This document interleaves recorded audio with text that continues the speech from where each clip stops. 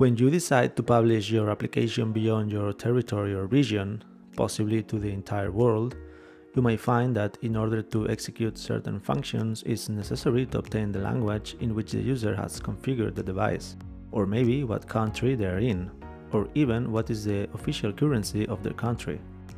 Flutter has a localizations.localeOf method to get a locale object, which holds localization information about the user.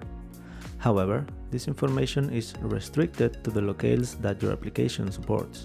For example, let's imagine that your application supports English for the United States and for the United Kingdom. Your main widget will look something like this. Now, if your phone is set to United States English and you run localizations.localeOf, you will get the following information. If the phone is configured in United Kingdom English, you will get. But if the phone has configured French of France, you will get this. The same goes if you try to get this data from any other localization settings other than US English and UK English. As you can see, in some cases obtaining this data can be useful if what we want is to completely restrict ourselves to the locales that we have configured. But many other times you will need to get the language, country and currency of your users regardless of whether your app officially supports it. For this, we're going to use the device locale plugin.